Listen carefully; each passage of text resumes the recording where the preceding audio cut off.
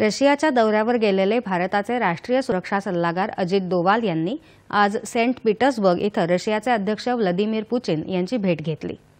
या भेटीदरम्यान भारतासोबत असलेल्या विशेष सामरिक भागीदारीचं पुचिन यांनी कौतुक केलं.